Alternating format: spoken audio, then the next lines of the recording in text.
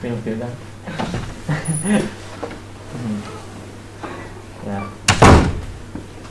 Let's kick on. Um, folks, I'm really conscious of the whole death by a thousand welcomes and all that sort of stuff. So Lawrence is going to give a bit of an introduction, but just on behalf of Sport Northern Ireland Collingwood National Outdoor Centre, it's good to in, good to welcome Dr. E. Haggy to the centre. He's going to, I'm sure he's a really interesting talk on all sorts of aspects of uh, sport, culture, and that and environment in New Zealand. So if you want to give us a bit of background on that would be great. Thank you Sure. very much. Thanks, Trevor. Um, thanks for having us here, uh, folks. Lovely to see you turn out. And I know it's not the best, most convenient time to do so, but my name's Lawrence McBride, for people who don't know me. I have a company called Far and Wild, and we were set up initially as a community interest company, uh, which does outdoor pursuits, but effectively has, has at its core two social aims. One is to develop people, and the other one is to sustain the environment. So we're a slightly different creature than most just private providers, but we spend probably a good 80 percent of our time looking and feeling like everybody else. Um, we undertook a bit of research uh, last year um, in Scotland and New Zealand, funded by the Winston Churchill Foundation, and um, it was around how green the adventure tourism sector is. Um, so effectively, we're looking at best practice right around the world in terms of the footprint and I suppose the approach to people like ourselves to the environment in terms of not only their policies but like what type of take they had in the environment because the environment effectively was their, their working context as opposed to a building or anything else. So Scotland was really interesting because they have their outdoor access code and equal kind of rights around the use of the outdoors between all the different users, landowners, people who want to protect habitat and um, people who want to use the habitats. And then New Zealand, the reason I, I kind of decided to go to New Zealand, not just that it was a junket as some people would have suggested, uh, that was there somewhere in my mind, but um, New Zealand actually had published a baseline survey on the impact of the outdoor sector. They also had a brand called Pure, 100% Pure New Zealand, which effectively was a tourism brand, and through that internet research, I became aware of both of these things, and um, I suppose I thought, well, the policy paper was, uh, baseline was kind of published at a ministerial level in about 2004, and it must have moved on a bit, because when you read it, it was largely focusing on footprint of big hotels and transport companies, um, you know, effectively evaluating their carbon footprint. And I thought, well, it's for the whole adventure tourism sector, so it must have dripped down to to uh, the smaller companies and maybe big centres like the um, Outward Bound New Zealand, uh, OPC, which is a Sir Ed Hillary kind of centre. So I'd arrange visits with the, those guys to go out and spend a bit of time, bit of time with them and ask them all these fundamental questions. And it just happened to arrive by pure coincidence. I think when I was when I was throughout the whole planning period, when I was thinking about going, and I thought I thought of New Zealand, that image that he happens to put up today would have been maybe what I had in my head in terms of the racial or cultural context I was walking into. I had no, had no idea um, about any tension, conflict, issues uh, around Maori and what they call Pakeha in New Zealand. Uh, was completely green in that regard. But being in where I'm from, uh, arriving on Waitangi Day, which is peace settlement agreement day, it was literally like arriving here on the 12th of July with everything kicking off. And I, I got my hair card put on the radio, off we go, and it was like, oh, I'm home again. You know what I mean? A couple thousand miles away, but here we go. Um, but fortunately, through a girl called um, Catherine Mack, who writes the, the, the Green Green Guide to Ireland and is an eco journalist, she introduced me to a man called Joe Doherty.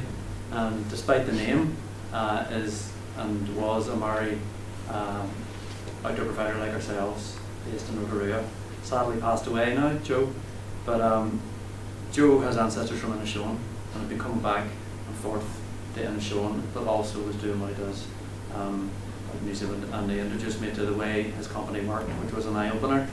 And from that, from really day two on, I was kind of thinking, well, I'll go to Edmund Hillary, I'll go to um, Outward Bound and all the rest, but really what is interesting me here is what those guys were saying. And he was somebody who I never met until today, but had a very interesting telephone conversation when I came off a hike. Um, I'd been avoiding my calls reportedly because he thought I was English. when I learned I was Irish, I think that, that might have changed something. Well, um, a bit of a long journey that he is now here with us today to share some of his insights. Because certainly, what began to take me was the kind of questions he was asking me and uh, information he was passing me about where it was with Maori people in terms of what we do in the outdoors and how they take it. And um, without further ado, I'll let Ihi take the, take the stage and tell us a bit about your work. Ihi. Delighted to have you. a koe taku mi kia o ngā tanga ko mai nei a kami, kami. Me koe te rangatiri mo tēnā, a koe taku mi kia koe mo tēnā. Anna maharama ki tēnei o ngā tino kanga o, o Aotearoa. Welcome along. Lawrence doesn't know what's going to happen yet he's a little bit concerned. he spoke on the phone for probably a good hour when he was over in New Zealand and I don't know what he was thinking then because he still invited me after that, but here I am. Uh, my background is in, uh, officially I'm a sports psychologist. Uh, I got a PhD in sports psychology. Uh, I lectured in, uh, lectured in uh, University for 10 years. Uh, lectured in uh, University of Hawaii. Uh, uh, Sultan, Prince Sultan University in the Middle East. And I wrote my PhD partly in Virginia University. Uh, some work in UBC in Canada and some in New Zealand as well. Uh, what I'm going to talk to you today is encompasses a whole range of different areas that we're interested in in Aotearoa, New Zealand, around uh, health, uh, physical activity, sport, and more recently outdoor education. Uh, I was on the, the national board for Outdoors New Zealand, maybe six or seven years ago. Uh, the field that I'm going to talk to you about today is uh, the reintroduction of old information from our past as Maori. It's only just arriving on, on the scene and in the sector. The sector's a little bit concerned about it because uh, they've got to get themselves upskilled pretty quickly. Government are even more worried about it because they don't know what it looks like, but they're asking for this information to be included in any national uh, proposals. So I'm getting a lot of phone calls at the moment from groups putting in proposals saying, uh, what should we include? And I'm saying, well, you can put down anything you like because the government can't assess it. So it's a funny situation that we're in. We're, well ahead of uh, what the demand looks like, but uh, also pretty informal speaking style. If you want to jump in at any stage and ask questions, I'm happy with that. Uh, I've done a couple of presentations here. I got here on Monday. I did one at uh, University of Ulster. You know, I drove down to Limerick. She said, I'm not so bloody far, I wouldn't agree with that. so I tore off down there, did one down at that place. That was lovely. And someone told me it was called Stab City. I didn't see any stabbing. uh, and then came back and did another presentation to uh, staff at the university in Jordanstown again last night. And just starting to this uh, last part of the leg, I've got a two today, one tomorrow, and then I head off to Edinburgh on Saturday. And uh, University of Edinburgh hosting me there for a couple of days.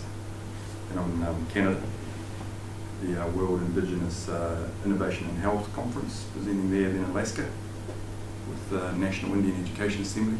That's um, all First Nations people up there.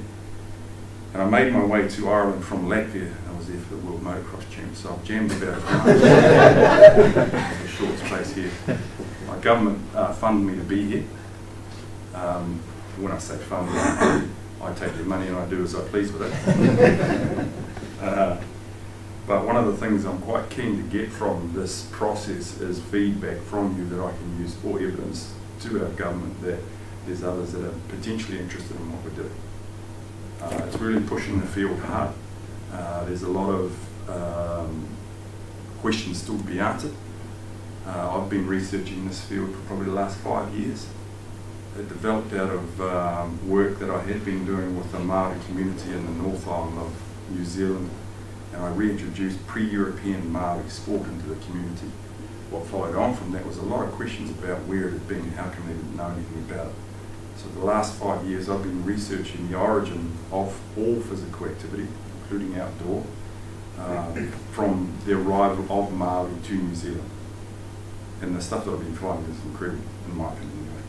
Uh, it's got so much connection to the environment in terms of using the environment as a form of a textbook to understand how we're going to perpetuate our genetic material.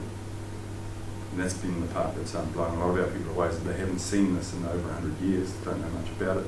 I know 100 years in terms of Ireland, the UK is bugger all, but to us it's quite a bit. because we've only been here a couple, well, we've only been colonised for the last maybe 180 years or so. Maori have been in uh, New Zealand for 1300 years. Um, it was the last place almost on the planet to be peopled because it's a difficult place to get to. South Pacific uh, is a nasty ocean. Not many people managed to cross over, but uh, we got ourselves there. I was saying the Lawrences are running joke with us and the Hawaiians that they say to us, well, you know, the smart ones stayed in Hawaii because it was warmer. we tell them, well, the hard ones carried on, the soft ones stayed here, so it depends on perspective. They definitely have memories of us being there and some of the historical accounts tell about what we did when we were there. Uh, our language is identical to uh, Easter Islanders, uh, Tahitians, and Rarotongas as well. And we can understand why, mostly, so the similarities are huge. Uh, some of the things I'm going to talk to you about today are the environmental deities that we're using as evidence for how we can improve health and physical activity, sport, outdoor awareness, but without a focus on that, which seems a little backwards to most, but that's just a, an incidental outcome of collecting together knowledge about uh, the environment. And that's the interesting part for our people is that to this point there's been nothing that has uh, impeded the progress of poor health amongst Maori. Um, I'm not sure why I put that photo up, just kind of a random one that most Kiwis turn up with something to do with a haka, but uh, as far as my colleagues are concerned, this is a commodification of culture where Adidas are using our haka to sell uh, product. So sometimes we put that up to say, well, everything isn't rosy when you see a haka. Uh, the, the tribe that's responsible for um, the haka that's used by the All Blacks, they're not happy about it still. So things seem better than they are sometimes. Uh, the irony again is that I haven't used um, Maori health statistics in any talk I've done probably the last 10 years. Uh, but because I'm out of the country and uh, to inform you about what's going on, I've introduced a couple. We've pushed them into footnotes now. We don't discuss them as Maori people. We've got jammed down our throats for the last 30 years. We're over. So we're shifting into another space. Quite to give you some idea of the state of the nation for Maori. We've got the worst health stats of any indigenous group on the planet.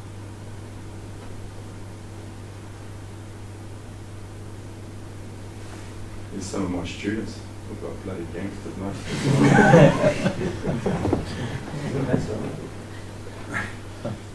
uh, a few other ones there. Infant death is the one that we're most embarrassed about. We kill more of our own children through beating them to death than any other indigenous people on, on the planet as well and yet we put forward as part of our culture of the importance of family. It's the biggest lie there is. But we're trying to make some adjustments around. Another one there with our vehicle death. Uh, Māori are high risk. We'll have a go no matter what. So often in uh, jobs where uh, high risk potential for um, injury, we'll go to those and, and, be highly representative. This number here is um, all non-Maori and Pacific Island people combined still have half the amount of vehicle death we do as Maori. So uh, crazy stuff we get up to. And part of the rationale probably behind that is that uh, in our society the pursuit of mana or uh, pride for our collective tribe group is everything.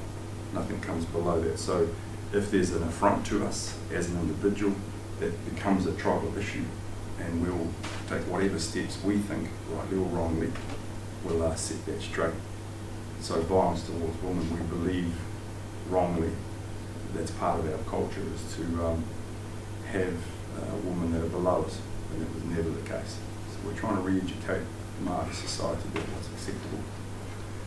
So high risk is something that we do a lot of. Um, I'm one of them too.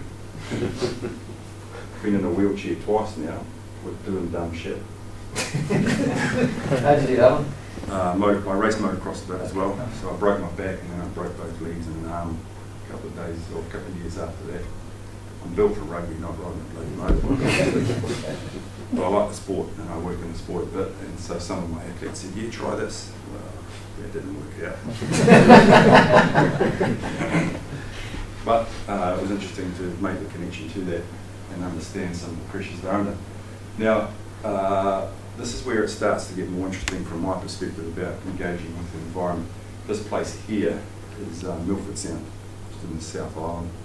Um, 400 inches of rain a year. Uh, the field here has maybe 12 feet of fresh water on top of the seawater. So when you dive there, uh, you have animal and plant life or, or, or coral that is normally at 600 feet is at 30 because of the mixing together the tannins from the fresh water and the runoff from the forest onto the layer of sea. It's a really interesting place to go and visit. Plus I've got massive lobster or crayfish here, so that's another reason to get in the water. Uh, at the mouth of this place is um, one of the traditional sites for collecting greenstone, which as a pre-European Maori society was uh, one of the things that drove us. Uh, it was a form of economy for us. Um, only chiefs had it. Uh, everybody wanted it, and there were only three or four places you could get it. And they all in the South Island, and all in really difficult places to access, and this is one of them. Now, um, what I did in April was I took a group of eight Maori health providers to the South Island and started into the process of reintroducing them to their environment and educating them on what the uh, deities are of different parts of those environments or the gods, if you want to call it. The God's is a difficult word for us to use uh, because of the missionary influence at home. Some of my people see the use of God as uh, an affront to their Christian beliefs, even though before missionary arrival we had none of those. It's interesting to me to see how far down the, the whole of colonisation quite a few of our people still are. Be that as, as it is, uh, gods, deities, we're messing around with some of the words here see what we can come up with. Uh, I took them back into these places here to show them the pathway that our people used in the previous thousand or so years to get access to Pounamu or Greenstone. And it's the first trip of its type into this place. Um, I'm a little bit unusual because I work down here as a guide and there aren't any Maori that work in these places in the South Island. In fact, in the whole outdoor ed sector, that's two or three, that's it. It's very rare. Um, I lived in the South Island even though I'm from the north because my father worked on hydroelectrical places down there and that's where most of them are. So I grew up in places like this. Um, but all of my relations have uh, very little connection to mountains, no nothing but snow, especially places like this.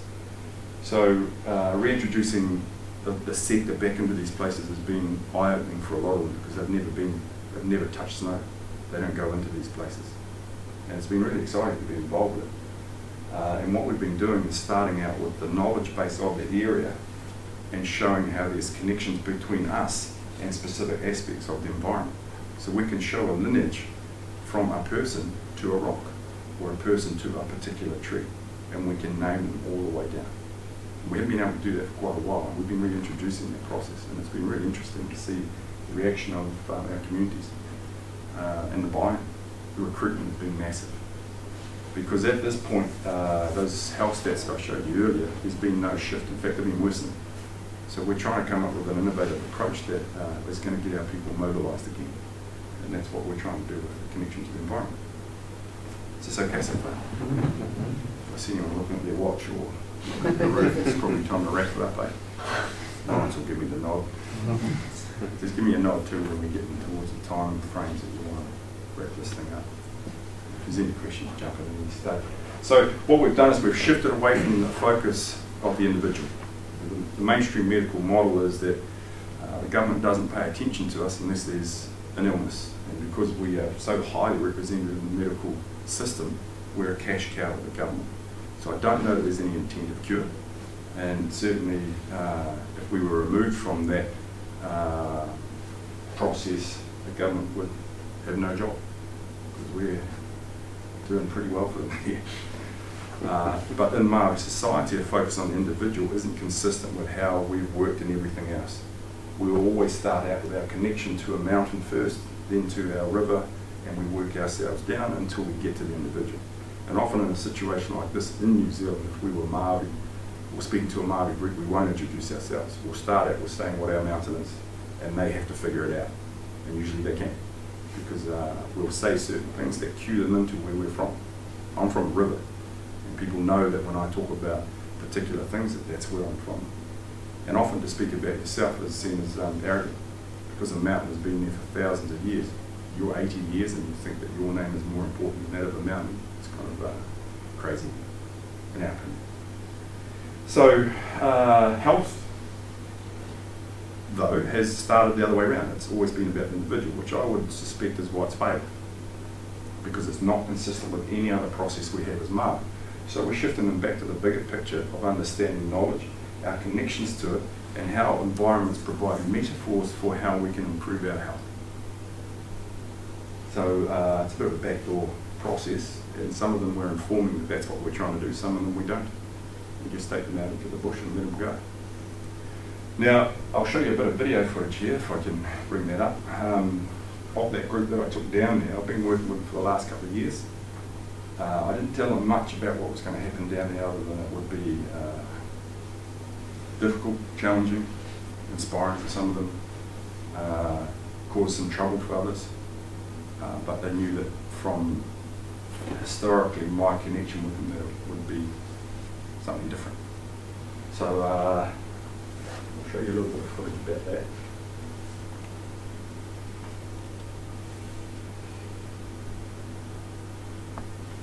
Give you a bit more heads up. What I did with this group was from that area there, uh, I took them for a 50k run in one hit. I'm not much of a runner these days, I've been broken too many times, but I can still, uh, how would you put it, bullshit my way through 50k if I have to. And can. And uh, young fellas, these all CrossFit fellas, all pretty strong and fit and thinking that they can handle, but when it comes to getting into the mountains and the places that I know, I can still manage to get through there okay. So that was the first thing up was the, the track that I took them through is called the Root or um, Taraka from the Māori perspective. And it was a pathway we used to get greenstone out. It's well known at home. It's right next to the Milford track, which is one of the top 10 in the world. I think this one here is probably underrated and equal to the other one. And when I took them to the start of it, I said, well, we're going to have a bit of a trot today. We're going to go for a wee look around. We're here to visit the mountain, and we're here to interpret the, the soil, the rocks, and so on as uh, genealogical connections through our feet by the process or the medium of running across it. So we're not here for health, we're not here for a run, we're not here for physical activity.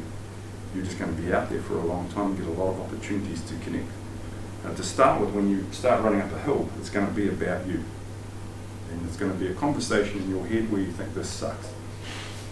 I can't handle, I'm not fit enough, this is hurting, which is probably what happens with a lot of our young people. We take them out into the mountains and they start to think, this isn't very much fun. I don't like this. And it's an internal conversation a lot of people have about thinking that I could be somewhere else. And as they start to spend more time there, they transition into another space where they open their eyes and they see other things around, which all of you are well aware of that process. Well, it's an opportunity to do the same thing with us, uh, just in a different uh, capacity that we were rediscovering the pathways of their ancestors using that trail to get greenstone out. So that was the, the main driver for being. there. Now the trail itself is 38 k's, um, and I did mess with their heads a little bit. being a sports psych, it's kind of my job. Um, I said to them, oh, we're going to go for a trot over the top here and have a look at the other side. Uh, when I got them to the other side, I added another um, 12 or 15 k's on um, because the pathway for taking greenstone out came to a river where it was processed and cut into pieces. It's harder than steel greenstone, so it's very difficult to um, manipulate. Uh, and the location where that was worked was another 12 or 15 k's from the end of this track. And I said, well, this track was designed by the of Conservation. It's got nothing to do with us. So if you think it ends there, maybe, but for us it doesn't. And I said, if this is the extent of the genealogy that's been passed on by your ancestors to stop here, stay in the van. Don't come on any further. But if you think you've got a little bit more juice in the tank, and you think you deserve the right to be here next to us as a reflection of what your ancestors have given us, then you have an obligation to carry on. That was just messing with their heads again. and so what I said to them is when we arrived there, because when they got there, the van was waiting and they were into the van and they were eating handfuls of cake and anything they could find because they'd been running for eight hours. And they were a little bit messed up in the head. And they were watching me and they said, how come you're not eating? I said, well, because we've got a bit further to go. But it's your choice. My favourite line with them, challenge by choice, which means get off your ass. so um, they started to run again. I said, look, you only need to do another 500 metres or a K or whatever you want to. But I spoke to the van driver and I said, don't pick them up till it's dark. Leave them out there, let them. But when it got darker and they'd been running for eight hours, then things started to go on in their head. And my main rationale for doing that was that uh, they learn more about what's happening in our communities because the things that we're asking our communities to, to do, the equivalent of what I've just asked them to do. So someone that's you know, 200 kilos asking them to do a walk around the block to improve their health is the equivalent of them having to run 50 k's. Said, until you understand that space, you're no use to our people because uh, your expectations are out of line with what our communities can actually handle, and especially about reaching places like this, because I've never been there. So it was a real interesting process. I'll, it's only a few minutes long. I'll run out for you to see it go.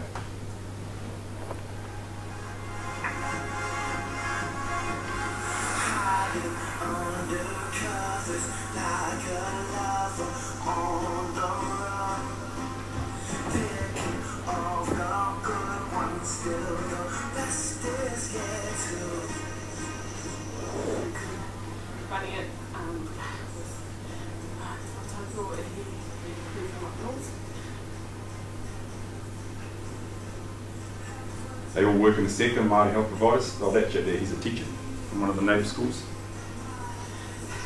They ran over these two passes here. Walk cycling through these hills. Oh, there's one. I'm impressed. About an hour and a half in. Let's have a bit of a breather here. Uh, heart rate monitor's got 1,000 calories burned. And uh, feeling all good. Typical CrossFit com- uh, comment here, eh?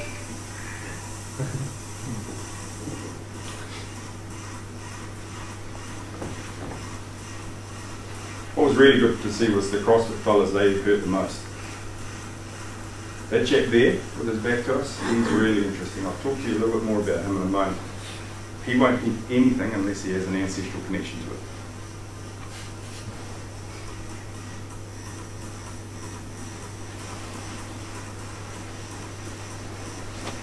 That river there is the only river where you can get greenstone, and it's in the middle of nowhere. How we found it, I'm not sure either. East. Up there. The top onto the other side. And the body is starting to get a little bit of my mind now. My mind's pain. Definitely starting to tip into my mental strength a little bit and I just keep going. There was a point there I just wanted to cry. I was the tail of the group, way behind, just kept tripping up, just going really slow and hard mountain almost got to me. Did it quite. That was the end point of that track where they thought they were finished and done. So I finished the route burn, um, and then I decided to run for an extra about 12 k's.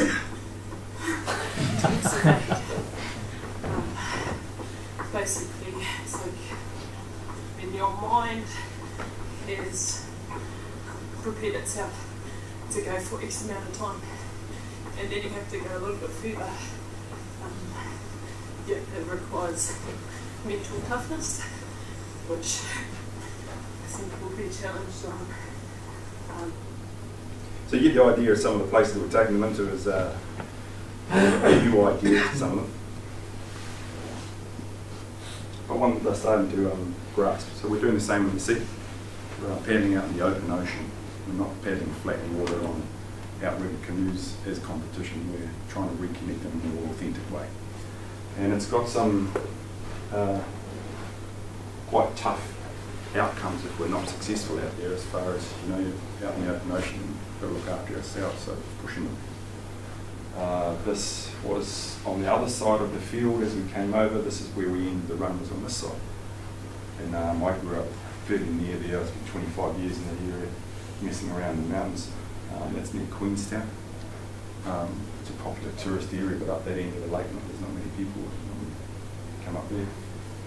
After they finished their um, run, they had a 130k mountain bike ride to go.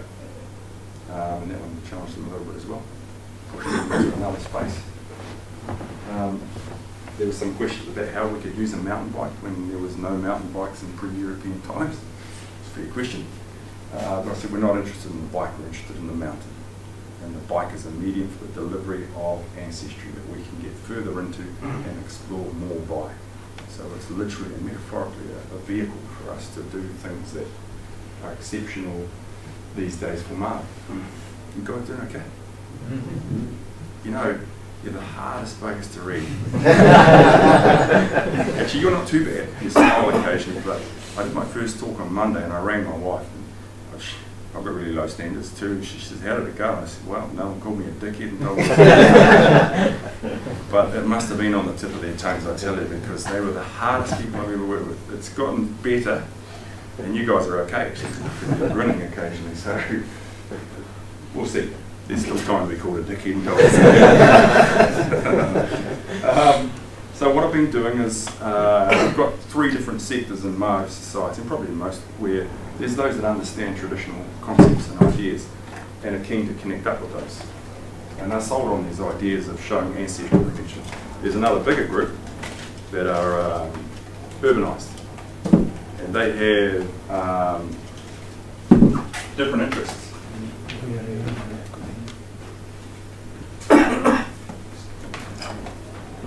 Well, your accent's worse than mine. I tell you, I can't understand anybody that talks here.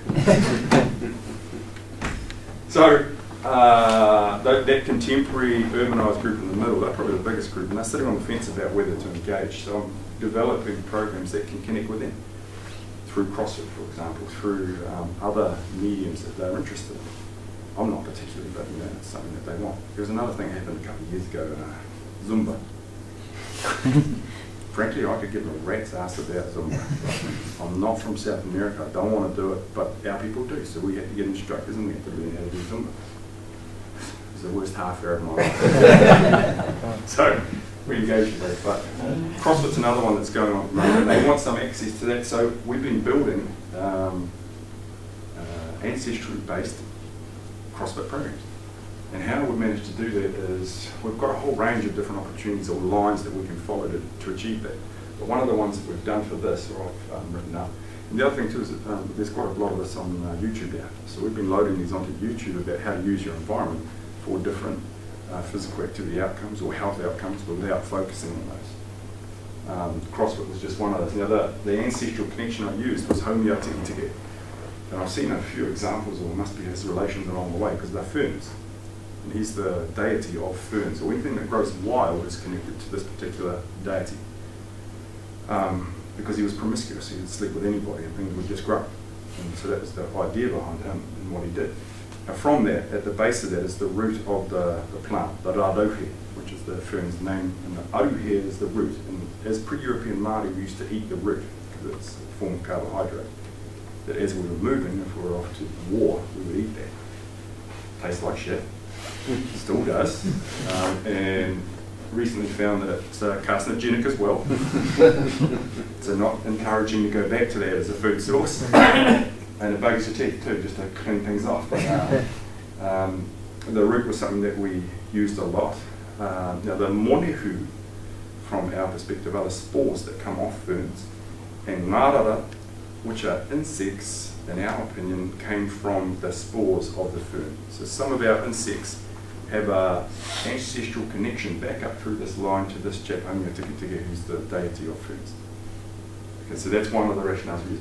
Now, as far as that part's concerned, that gives us our knowledge base, our connection. Now we have to change that into a metaphor for how we can get some physical activity or sport output from that, which is exactly what we did with it. Now, one of the interesting things here is that Confucius, um, in their society, developed martial arts around the same concepts with grasshopper, with praying mantis, with uh, tigers, with know, same kinds of principles of understanding the environment, who's moving about in it, and turning that into a martial art to ensure that the people he protected could protect themselves and ensure genetic continuity. We used to do the same things and we're just reintroducing it. So globally, people know about Kung Fu. And hopefully, in another five years, they'll know about Atsura Matsura concepts of how we can use the environment to get the same things. And that's where we're heading. I can show you a quick example of it. Um, one of the insects that I talk a little bit about is um, Rotane. Uh, Rotane is the stick insect. Now in uh, CrossFit there's quite a big drive around um, abdominal strength, uh, core strength. And so we looked at the behaviour and characteristics of Rotane and how it moves. And we would take people in for four or five sessions to firstly find it and we have the incidental gain of moving about in that environment just to find it. Then we studied it for a, a while, and then we picked certain things out, and we started to change our people's perspectives of those insects uh, into another space, with CrossFit maybe being one of the incidental outcomes of understanding how a stick insect works. So what I'll do is I'll get this chap here to come out here. You need to be able to see him from there. He's going to lie on the ground and show us a bridge hold or a plank. Plank, yeah. yeah. So this is the first form, and sometimes what we do is if we want it to be easy, we let them go onto their knees. So that's probably the, the Ewok version, is from the knees. So they go to the knees, then they go to this. The next one is up onto the hands. And from there, what we do is we get left hand and right leg up and off the ground. Okay, have a rest for a moment now while I talk a bit more. So that was the introduction to it. Now the next thing is possible. so this is what you might be doing in CrossFit, some of those kinds of movements. Now what we want you to do is to shift into the idea of how Tāwhirimātea, who's the deity of wind, will affect Haumia-tiketike, who's the deity of the insects, by how your hand and foot will move depending on what level of wind we have. So if we'd left the door open each time those rattled, his hand and foot should move more because there's more presence of the deity of wind. So now what we're trying to get our people to do is to move into the idea of thinking like a stick insect and not thinking about strength conditioning at all. So if you hop up onto where you were before, and want your hand and your foot to move as though it's the wind that's shifting you. Think about the stick insect and how they hold onto a branch. So the hand's not going to be here, it's in this cupping position where they hold onto a, a branch as they're moving. Okay? so now your foot and leg have to move up and down slowly. Foot goes up with it. Okay, if it bent there, a bird would come and smash it, wouldn't it? so move it up and down. So, is that about it? Yeah, and it's got to move up and down so the wind is manipulating better. That's not bad, is it? Really? Okay, a rest. So his genetic material might carry on as the form of the stick insect, but he's able to convince the bird that he's not a stick insect, he's a stick, because the wind's moving him.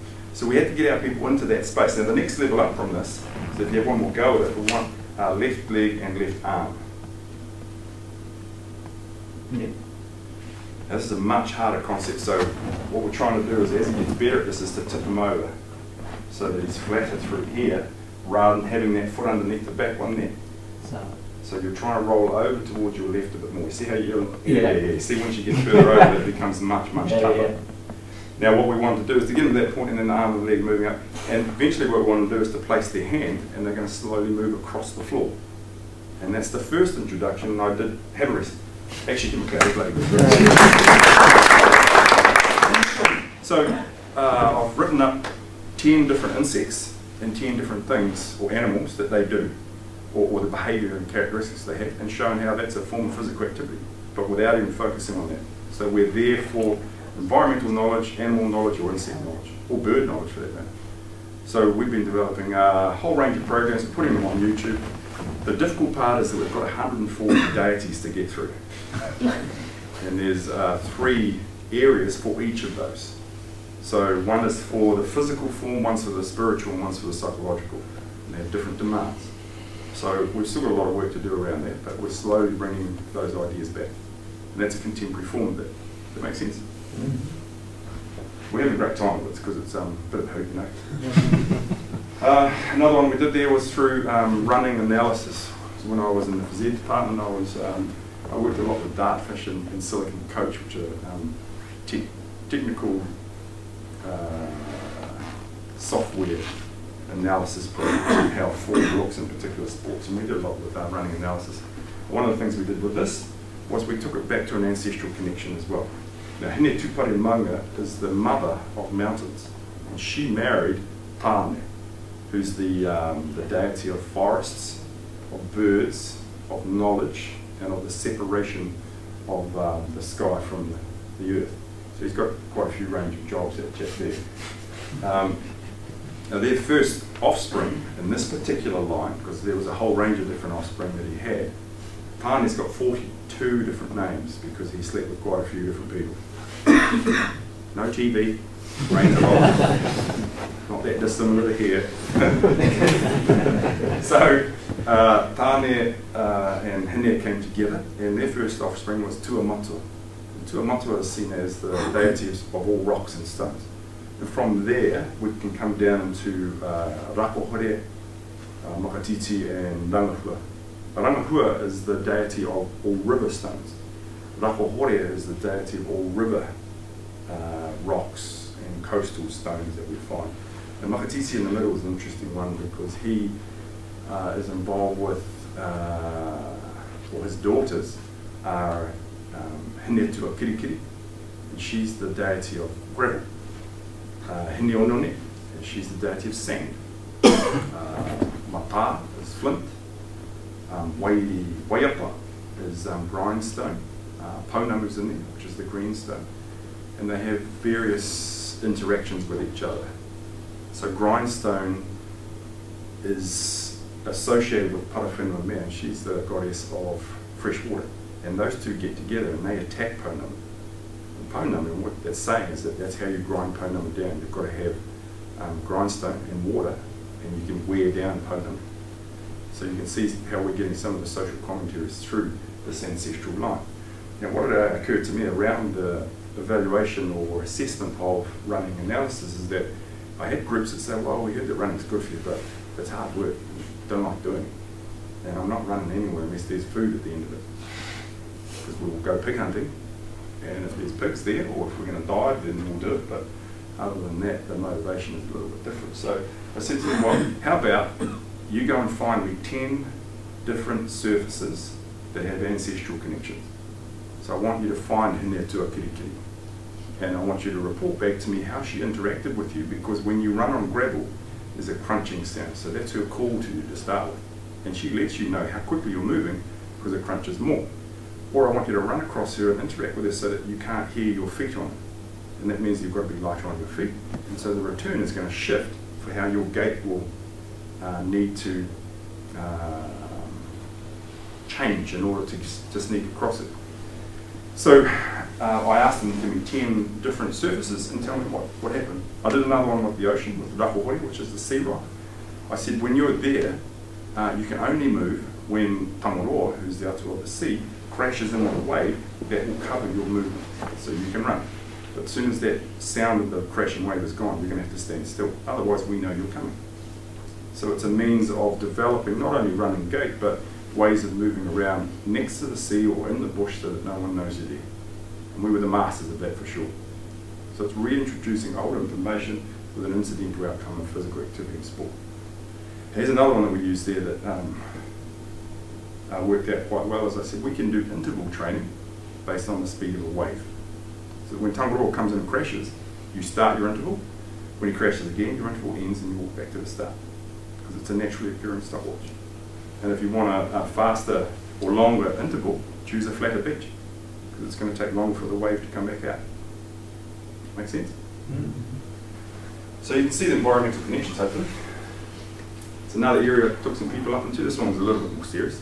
This was 70 Ks, um, but beautiful area. And once they got over themselves and started looking around, it got easier. I don't know how much longer I can do this, but I'll for a bit more. There's got to be younger fellas and further ones coming through. We'll get there. But what we've been starting is um, what we call um, Maunga or mountain conversations. And what that's about is starting up conversations with our mountains again. Because when we go into those places, usually it's one of fear, of personalised um, uh, concern, saying I can't handle it here, this is too tough, I'm worried about these things, to shifting to one of understanding the characteristics and personality traits of that particular mountain. And then shifting into the space that you're not there to conquer, you're there to coexist, and you'll only be able to coexist if you understand what their personality traits are.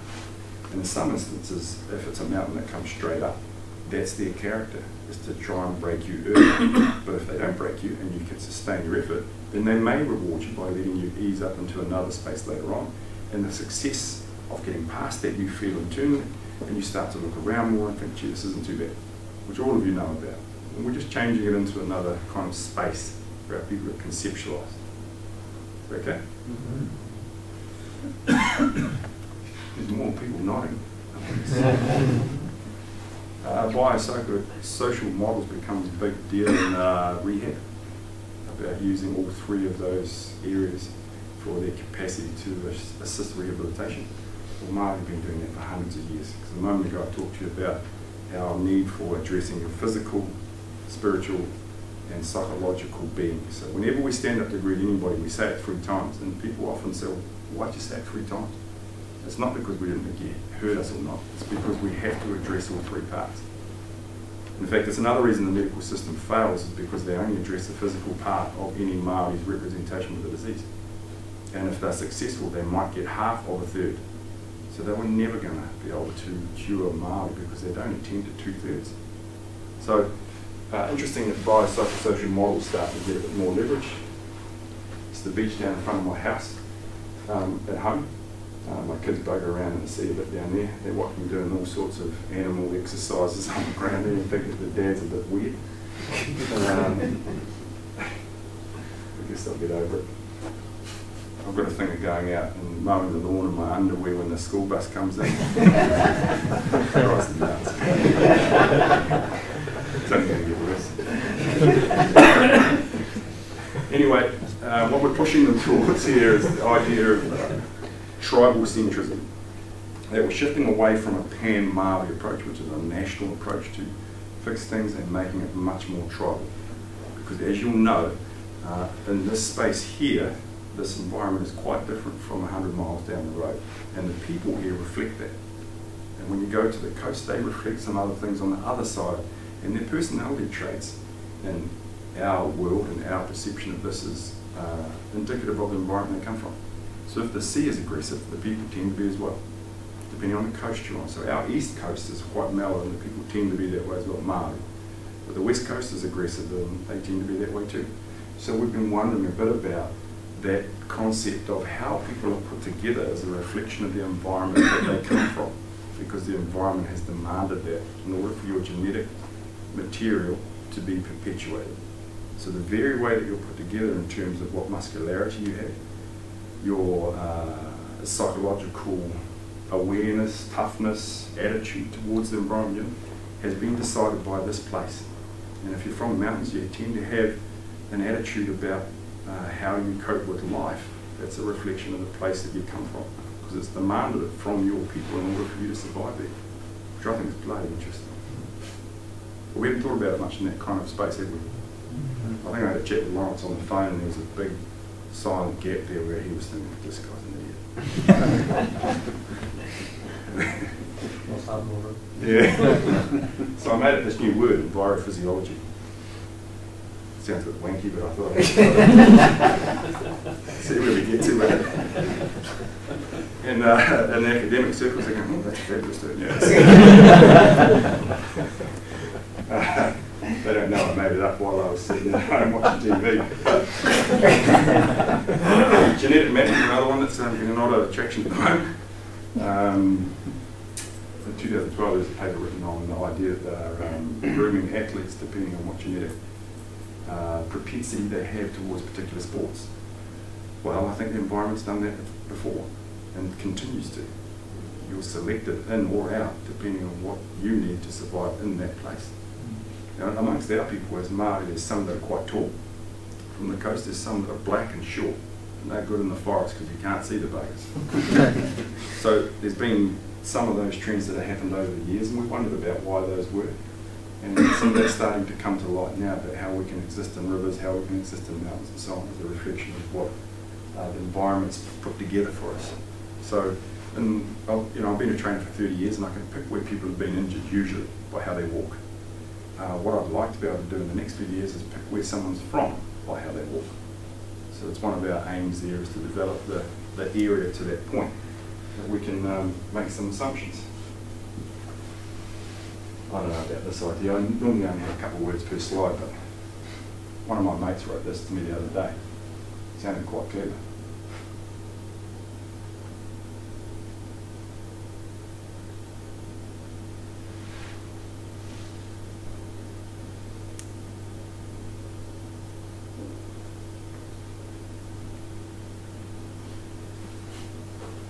I'm going to give the um, presentation to uh, Lawrence see the on if you want. I've written some articles on this stuff too, which is a real surprise. I'm the world's worst academic. That's why I got booted out.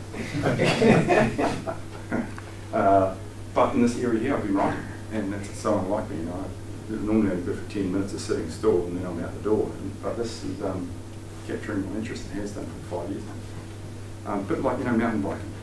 Uh, mountain biking, for years I thought it was about the bike.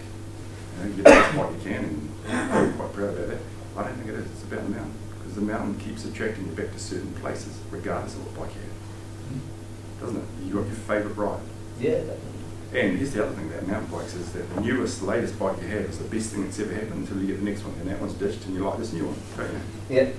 So I don't know that it is about the bikes. I wonder about that a bit lately. Doesn't stop me from getting five bikes in my garage though. This chap's interesting. Um, he's got nine US titles in uh, motocross, well actually cross country stuff. I've trained him exclusively for the last three years in Māori concepts of the environment. He doesn't know that, he's a white fellow. um, he's been really successful in what he's doing. And I've only just started to tell him about, did you know actually, that I was doing some of this stuff. And he's going, oh, yeah, I wondered where that came from. So he's starting to get the idea of it. Uh, internationally, he's known as the fittest man in the sport. And he's from New Zealand. And he's been taught, because I've been his trainer for 14 years. And it's been real interesting to see the shift. Because I said, you know, I could give you some Olympic concepts about training because I know what those are, because I trained through the phys ed school for 10 years. Or I can give you some that are going to get parallel outcomes, and they have because of the uh, um, number of titles he's managed to win. Um, so jump in with your questions and so on if you need to at any point. Last thing I'll wrap up with is um, I've built a new Māori health framework, which again was a bit of a piss take, I have to say. I thought one afternoon, oh, I'll write down a few ideas and I'll build a framework. We haven't had one of those for a long time. It's been 25 years. It took me two weeks to write the bugger and I thought it would just take an afternoon. Uh, so we produced that and we're starting to travel the country and teach that to a few different organisations. And our idea is to come to other Indigenous groups, mainstream eventually, not unlike your group here, and talk about the opportunities to uh, conceptualise the environment in a different way. And what I'm trying to do is to verbalise that, to put words to what it is we know as outdoor educators exist, but sometimes have difficulty putting our finger on what exactly is that. Well, for us as Māori, we know exactly what it is. It's a connection to knowledge firstly, then it's a connection to that place. And the last two parts of the metaphor is how we can change that into another format that might have an incidental outcome of improving health, but it's still not our focus. The environment. So, uh, Lawrence has got a copy of the most recent one I've written there. Um, I've got cards here too I'll give to you because uh, I'm really interested in what you've got to say. Also, if you don't mind, if there's a few questions, and I hope there is, um, I might get Lawrence just to catch a bit of footage. Is that okay? Is there, is there any questions so far?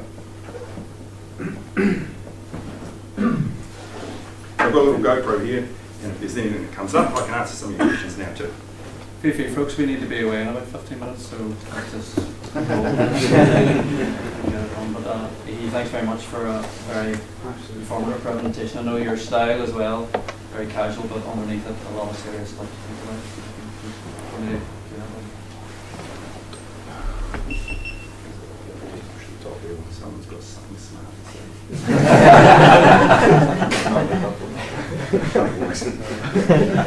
say. Just see the stand there. Obviously, it's all developed from a Maori perspective because you've got such a close link to nature, the outside. Do you think parallels in terms of physical programs could be developed in the likes of Ireland where there might not be such a close link to, or it might be so far removed time-wise, or because people have just been living urban lives for too long. Could you develop a program like that elsewhere? Yeah, absolutely. No question in my mind at all. I've read some of the mythology before I came here about, and I was asking them some of the questions about, you know, who's this um, Queen Maeve? And what was this white bull and this brown bull deal? What was going on with some of those things? So those similar metaphors for engaging are there. They're definitely there. Um, some investigation into what those look like, some innovation around how you can reconceptualize those into making connections to the environment, differently. It's one of the reasons I came here. Actually, I didn't tell you this at the start, but um, my other name is Justin McKenna. I'm from Armagh. my grandfather's Irish, Okay. and uh, my mother was born in New Zealand. But uh, I think if I turn up in Armagh and tell them I'm home, they'll look me up and down. Where you get some- uh, so yes, in short, I do believe there's um, great opportunities for that. Uh, but it's not for me to say, and I think the idea of this framework is that we provide some examples, which we can load on YouTube, of ways to connect. Uh, and then a framework's intent is that you populate that with information that's specific to your environment and your understanding of where it is you work. And then you have ownership and sustainability because it's yours and it's not something that someone else has told you what to do. But the concepts is something that I think we've been alienated from so, for so long that there's uh, no understanding of the pathway looks like. So I had a really good talk with Lawrence about that on the phone. Um, talked his bloody head off actually because it's one of my pet areas here and I think he went away going, holy shit, these guys are a mess. But uh, maybe this clarifies a bit. Yeah, I think to say, just off the top of my head, from coming off that, is like the Giant's Causeway. You know, so it's the most iconic visitor attraction, maybe bar the Cliffs of Moher in Ireland, so we've got streams of people coming to it. And somebody was talking about going up there recently. Literally everybody standing with a piece of paper and something in their ear and their language interpreting what it is.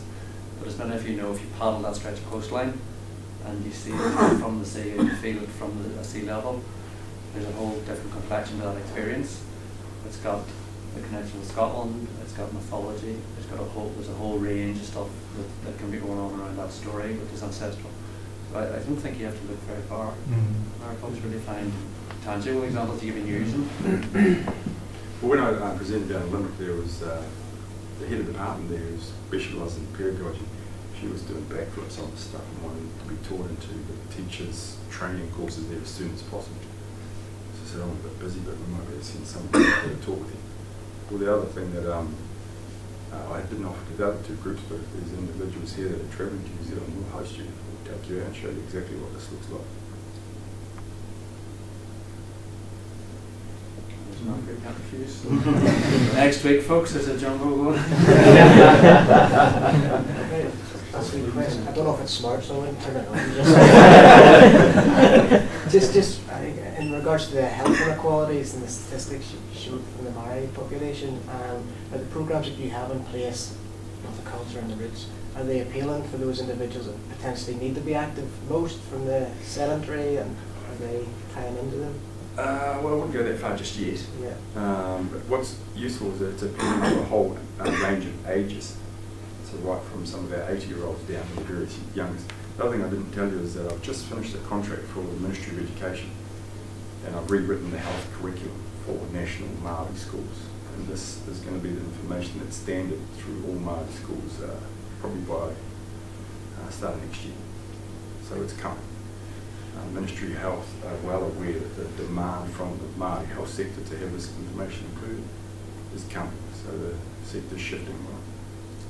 Did that answer your question or was I just talking? No, no, that's perfect. No, it's perfect. No, just we obviously have the same problems of getting uh, opportunities for individuals to tie into those key activities first off. So it's now we put a menu of activities in place for them to make the first stepping stone. with regards to health Yeah, yeah. Well, like we, I said, you know, we're trying to put as much on YouTube as we can so that people can see Yeah. what's going on at home and abroad, um, and recognise opportunities to engage in ways that they see fit for themselves. So that framework that I talked about, we've got 12 under deities and 12 under human form. And you can come in at any point you want. So if you want to start at an individual because that's where you're most comfortable, then you can start there. But The idea is that there's a rationale at a higher level for why, not what you do. Why we should connect is the rationale that connects back to ancestry and knowledge, firstly. So uh, some of them are starting at that point and you know, taking a toe in the water, getting a feel for it and seeing what it looks like and starting to progress. But uh, initial findings around it is that we're moving people that haven't moved in 40, 50 years.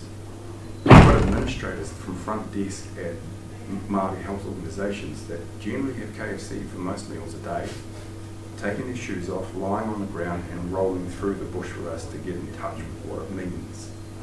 And that's never happened. So we're shifting people that um, have been quite resilient to, to change. So we're, we're encouraged. We'll see. There's still time for someone to call me a dickhead. I think that the perception that we would have is with other First Nation cultures in North America, predominantly that, that they're very similar problems, health problems and everything else. And do you find like almost an instant buy-in from them as well in terms of, of the work? Yeah, definitely. A part of the work we're doing over there over the next little while is to uh, reintroduce some stuff that we started last year. Mhm. Um, it's much easier for them to make the next step in part. Like, I don't think that um, your situation in Ireland is uh, going to be too challenging to make those environment, environmental connections through um, mythology. There's a hell of a lot that I've read Mhm. you know, in my interest of what my grandfather was up to. So I've seen plenty there. Uh, the funny thing is with uh, other indigenous people is they've been colonised for a lot longer than we have. Um, we're probably the freshest on the block Yeah. as far as natives go, and we're the most aggressive too. Um, partly because of, we were talking about this on the, on the way here, the environment of New Zealand is that it's the bottom, cold, hard place to get to, so the attitude of the people was always going to reflect that. Mhm. Um, when government makes suggestions, we don't like it. We tell them where they can take that idea aggressively and do what we need to. Do. We've had a history of doing it, and that's not going to change. Mhm. So other Indigenous people look to Māori for some leadership with all humility, um, and we arrogantly go about our way of telling the world what they need. Who knows? You know, uh, what we want to do is provide an opportunity to share, and we'll start that process with the hope that uh, groups like yourselves and them review what we're doing, look at it, and give us feedback and say, "What have you thought of this?" Or "That's crap. What about that?" And that's where we're going to get our best opportunities because the collective brain power in this room is better for us to engage with than to ignore. And we can only see what we see internally and at home. This is important. So I'm going to give out some cards too, and I'd like you, if you could, to give me some feedback on today, some of the concepts. And if you've got time, not just a gee, that was great kind of comment, which I've got plenty of already. I would rather know uh, some of the ideas where you think it might fail, or why it might succeed, or how it might be applicable to you. And uh, like I said, we're more than happy to show you around our place. Well, thanks, Ihi. Uh, pleasure, I think, from everybody here in the North and Ireland generally. for having you here. Uh, I know as a company far and wide has made quite a few changes since being in New Zealand, employing ecologists, for example, to work alongside the guides. Um, and our big next kind of conceptual move is around nature empathy. So effectively, for whatever reason, be it industrialization or the way our culture has gone, we would find particularly at the lower end of the scale, socioeconomically, kids who we bring out um, into environment tend to have a more aggressive and fearful attitude and destructive attitude towards the environment. So it's kind of like, well, where does the empathy connection fail and why it failed? And you don't need to actually answer the questions. It's like, well, how can you reconnect it? And I know from sessions we run, we can do it in two or three hours. So we can have somebody going, yuck, seaweed, evil, water, dirty. They snorting water through their system to clear sinus, sinuses in two or three hours.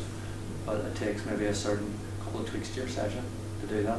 So we're trying to reconnect that, kind of rebuild that connection between them, seeing themselves as part of the environment, as opposed to using salt and bleach and saying, well, everything we have to kill it all. You know, So it's just part of our learning.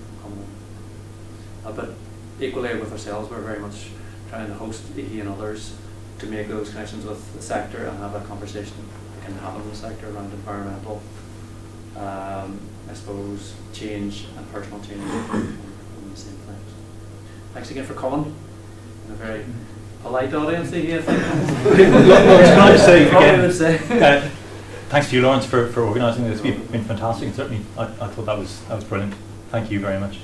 Very welcome. We're off to Gartan tomorrow, so we'll do the same time Donegal. Before we wrap up, I want to thank Lawrence too. It was a bit of a risk him having me come and didn't know me.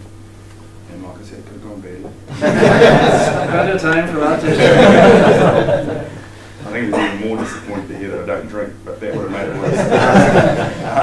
and for his um, uh, support of some of these ideas. I mean, it was a great thing he did, coming to New Zealand, experiencing some of our culture and being so receptive to some of the concepts.